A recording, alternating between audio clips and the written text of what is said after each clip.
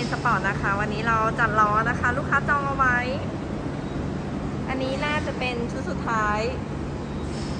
พอดีนะคะ แล้วก็ตอนนี้เลิกผลิตไปแล้วด้วย แต่เดี๋ยวมันจะมีโมใหม่ออกมานะคะ น่าจะรอประมาณอีกไม่กี่เดือนนี้ อดใจรอนะคะ ส่วนนี้เราก็จะพาชม Toyota Fortuner นะคะตัวนี้ ใส่กับล้อ Rays นะคะ TE 37 ที่เป็น Progressive Model นะคะ เป็นสี MM ค่ะ ตัวนี้ แล้วก็สเปคล้อนะคะ จะเป็น 18 กว้าง 8 นิ้ว ออฟเซต30 นะคะ CMM ก็จะเป็นไดมอนด์ดักกันนะคะ